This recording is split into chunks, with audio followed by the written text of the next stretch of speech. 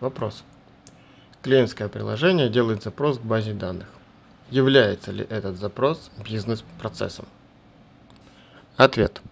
Данный запрос не является бизнес-процессом, потому что бизнес-процессы сугубо серверные варианты, они обособлены от любого UI, от любой базы данных, и поэтому отношения никакого к клиентской части не имеют.